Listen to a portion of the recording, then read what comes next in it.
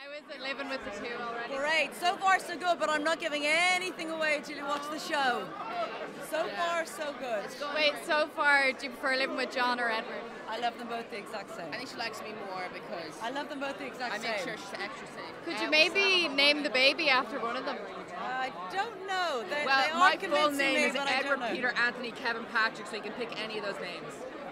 I'll get back to you on that one. We came here in a horse and carriage. I don't think anyone's ever done that to the IFTAs, so it was pretty awesome. Smashing records. Yes. Yes. And who else? She lived with Kerry Katona, and I think we've been the best so far.